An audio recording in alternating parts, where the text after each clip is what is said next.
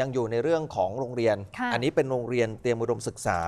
ซึ่งเขาบอกว่าเดี๋ยววันนี้เนี่ยคุณผู้ชมฮะจะมีการนัดแต่งชุดดำของนักเรียนแล้วก็ครูที่โรงเรียนเตรียมอุดมศึกษา เพื่อประท้วงผอโรงเรียนผอชื่อว่าคุณโสพลกมลนะครับผอจริง ๆ วันนี้เนี่ยทำงานวันสุดท้ายนะอืมจะเกษียณอายุแล้วนะฮะค่ะ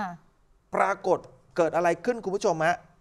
ผออเนี่ยนะครับได้มีการลงนามย้ายครู 7 คนนะเมื่อวันที่ 28 กันยายน ก็คือลงนามย้ายครู 7ตำแหน่งก่อนตัวเองจะเกษียณเพียงแค่ 2 วัน ก็ลงนามเมื่อวานซืนนี่เอง เรียกว่าเป็นครับการ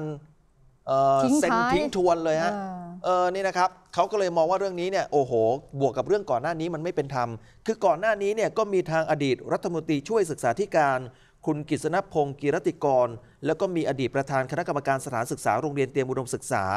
พร้อมด้วยสิทธิ์เก่าเอ่อครูเก่าแล้วก็ครูปัจจุบันเนี่ยเขาเคยไปที่สำนักงานปปชนะครับ เพื่อให้ตรวจสอบการกระทำอันมิชอบของนายกมลโสเอ่อนานายยโสโสพพลลกมลครับผู้อำนวยการโรงเรียนเตรียมอุดมศึกษา เพราะพบหลักฐานที่ส่อถึงการปฏิบัติหน้าที่ในทางที่ไม่ชอบด้วยกฎหมายหลายประการ ไม่ว่าจะเป็นเรื่องการรับเด็กนักเรียน เรื่องการเรียกค่าบำรุงการศึกษา รวมทั้งไปมีส่วนเกี่ยวข้องที่ว่าอาจจะมีการทุจริตเงินกระถิน1ล้าน2แสนบาท ยื่นไปเมื่อวันที่ 22 กันยายน ซึ่งหลังจากนั้นก็มีคลิปเสียงสนทนาลักษณะคล้ายครูผู้หญิง และนักเรียนผู้ชายพูดถึงกรณีที่มีการจัดกระถินประจำปี 62 ที่วัดในจังหวัดพะเยา และได้เรียรายเงินบริจาควัดได้ที่1ล้าน2แสนบาท แต่ว่าเงินบริจาคเนี่ยเอาบริจาคจริงเพียงแค่1 1ล้านบาทเอาเดี๋ยวลองฟังคลิปนี้หน่อยครับ ในกรณีของเงินตรงเนี้ยที่บอกว่าเป็นในบัญชีมันคือล้านสองมันทำไมโอนไปแค่ล้านเดียวอืมอาจารย์สิริก็บอกว่ามันเป็นไปได้ตรงที่ว่าก่อนหน้าเนี้พอเขาเคยถามว่าปกติแล้วเราให้วัดละเท่าไหร่อาจารย์สิริก็บอกว่าปกติแล้วให้ประมาณล้านหนึ่งครับอะนี่คือเริ่มต้นนะในจริงไหมกรณีครับตรงเนี้ยตรงเนี้ยจะเขียนเอาไว้ว่า แต่มอบให้วัดหนึ่งล้าน เก็บไว้เองสองแสนใช่ครับ แล้วก็ถูกมีไหมมีต่อครับอะเห็นบอกว่าจะเอาไปให้วัดอื่นจ้าซึ่งผิดวัตถุใช่ประสงค์แต่แรกถามว่าเธอรู้ตรงนี้ก็คือรู้จากคนที่เข้าประชุมคณะกรรมการบริหารโรงเรียนถูกไหมไม่ใช่ครับอะแล้วเธอรู้ได้ยังไง ก็รู้ในที่ประชุมโรงเรียนไงครับ ที่พอท่านพูดเองเลยว่าอ่าฮะบริจาคให้วัดหนึ่งหนึ่งแสนล้าหนึ่งล้านนและใช่จะเก็บ ไว้สองแสนที่เหลืออยู่อ่าต้องไปปรึกษากับคณะกรรมการใช่ก่อนว่าจะเอาไปทำอะไรต่อใช่ซึ่งผิดวัตถุประสงค์ตั้งแต่ต้น สิ่งที่เกิดขึ้นก็คือเสร็จแล้วในเรื่องของเงินสองแสนเนี่ยครับอาจารย์เตือนใจบอกว่า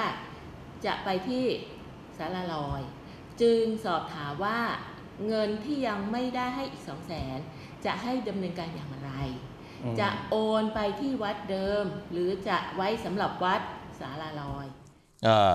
อันนี้ก็คุยกันเกี่ยวกับเรื่องปัญหาเงินบริจาคอะนะ ว่ามันมีปัญหาอย่างไร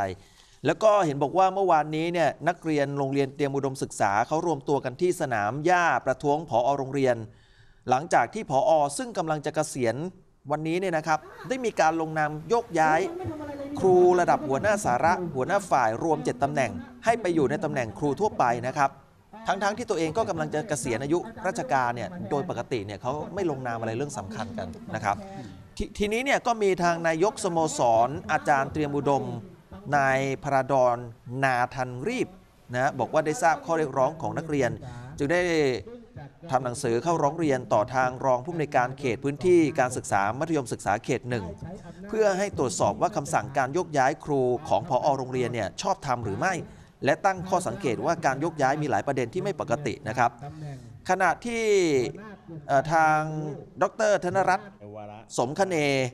รองผออสำนักงานเขตพื้นที่การศึกษามัธยมศึกษาเขตหนึ่งรักษาการผออเนี่ยบอกว่าก็รับเรื่องร้องเรียนแล้วนะครับ แล้วก็จะมีการเรียกผู้อำนวยการโรงเรียนเตรียมอุดมศึกษา และผู้บริหารโรงเรียนมาให้ข้อมูล แล้วก็จะตรวจสอบ คาดว่าจะใช้เวลาไม่นานนะครับนี่นะครับอืมแล้วเห็นบอกว่าวันนี้เนี่ยคุณผู้ชมฮะ วันนี้นะ30 กันยายนนี้นะครับเขานัดแต่งชุดดำกันนะฮะครับเพื่อเป็นการประท้วงผอโรงเรียนก็คือผอโสพลกมลที่บอกว่ามีพฤติกรรมที่นำไปสู่การร้องเรียนปปชนะครับเอ่อตั้งแต่ผอเนี่ยย้ายมาเป็นผอที่โรงเรียนเตรียมอุดมศึกษาเมื่อปลายปี 61 นี่นะครับครับ ก็เห็นบอกว่าเนี่ยถูกร้องเรียนอืมถูกร้องเรียนแล้วก็ ล่าสุดก็ยังมีการเซ็นย้ายทิ้งทวนอีกแบบนี้เจ็ดตำแหน่งเนี่ยไม่รู้เพื่ออะไรอย่างไรนี่นะฮะ นักเรียนออยังบอกว่านะครับนอกจากจะแสดงออกเชิงสัญลักษณ์ในการแต่งชุดดำแล้วเนี่ยยังครับ จะไม่เข้าไปเรียนในคาบที่ครู ซึ่งได้รับการแต่งตั้งครับให้มาสอนด้วยเออครับ นี่นะครับ